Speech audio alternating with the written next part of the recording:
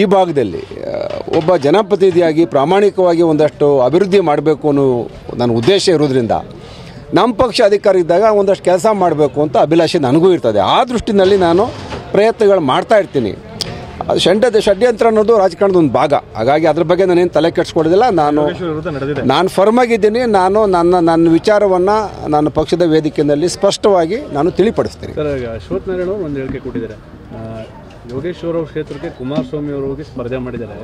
ನಮ್ಮ ಕ್ಷೇತ್ರಕ್ಕೆ ಯಾರು ಬಂದಿಲ್ಲ. ನಿಜ ಅವರು ಕೂಡ ಅವ್ರ ನಿಜ ಕ್ಷೇತ್ರದಲ್ಲಿ ಇಪ್ಪತ್ತು ವರ್ಷದಿಂದ ರಾಜಕಾರಣ ಮಾಡ್ತಾ ಇದ್ದಾರೆ. ನಿಜ ಅಶ್ವಥ್ ನಾರಾಯಣ ಅವ್ರನ್ನ ನಾನೇನು ವೈಯಕ್ತಿಕವಾಗಿ ಏನಿಲ್ಲ ಜನರಲೈಸ್ ಮಾಡಿ ಹೇಳಿರೋದು ನಾನು ಅಷ್ಟೇ. ನಾನು ಅಶ್ವಥ್ ನಾರಾಯಣಲ್ಲಿ ನಮಗೇನು ಭಿನ್ನಾಭಿಪ್ರಾಯ ಇಲ್ಲ ನಾವೆಲ್ಲರೂ ಕೂಡ ಪಕ್ಷ ಸಂಘಟನೆ ಪ್ರಯತ್ನ ಮಾಡ್ತಾ ಇದ್ದೀವಿ. ಈಗ ಕುಮಾರಸ್ವಾಮಿ ಅವ್ರು ನೋಡ್ರಿ ರಾಮನಗರದಲ್ಲಿ ಅವ್ರದ್ದು ಕಾರ್ಯಕ್ಷೇತ್ರ.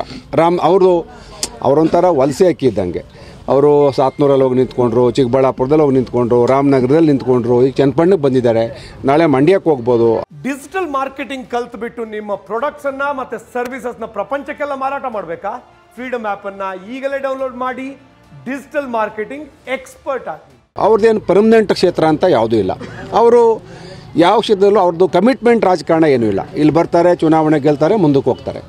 ಈಗ ರಾಮನಗರದ ಬಗ್ಗೆ ನೀವು ಭಾಳ ವಿಚಾರಗಳನ್ನು ನೋಡ್ತಾ ಇದ್ದೀರಿ. ಅಭಿವೃದ್ಧಿಯಲ್ಲಿ ಭಾಳ ಕುಂಠಿತ ಆಗಿದೆ. ರಾಮನಗರ ವಿಚಾರದಲ್ಲಿ ಜನಾಭಿಪ್ರಾಯ ಕೂಡ ಮಾಧ್ಯಮಗಳ ಮುಖಾಂತರ ಜನಸಾಮಾನ್ಯರಿಗೆ ಇವತ್ತು ತಲುಪ್ತಾ ಇದ್ದಾವೆ. ಕುಮಾರಸ್ವಾಮಿಯವರು ಸ್ವಂತ ಕ್ಷೇತ್ರ ರಾಮನಗರ, ಆದರೂ ಚನ್ನಪಟ್ಟಣಕ್ಕೆ ದುರುದ್ದೇಶದಿಂದ, ತನ್ನ ಸ್ವಾಯತ್ತಶಕ್ತಿಯಿಂದ ರಾಮನಗರದಲ್ಲಿ ಮಗನ ಬೆಳೆಸಬೇಕು ಅಂತೇಳಿ ಅವರು ಚನ್ನಪಟ್ಟಣಕ್ಕೆ ಬಂದಿದ್ದಾರೆ. ನೋಡೋಣ ಮುಂದೊಂದು ದಿನಗಳಲ್ಲಿ ಏನಾಗುತ್ತೆ ಅಂತೇಳಿ ಜನ ತೀರ್ಮಾನ ಮಾಡ್ತಾರೆ. ಡಿಜಿಟಲ್ ಮಾರ್ಕೆಟಿಂಗ್ ಕಲ್ತ್ ಬಿಟ್ಟು ನಿಮ್ಮ ಪ್ರಾಡಕ್ಟ್ಸನ್ನು ಮತ್ತು ಸರ್ವಿಸಸ್ನ ಪ್ರಪಂಚಕ್ಕೆಲ್ಲ ಮಾರಾಟ ಮಾಡಬೇಕಾ?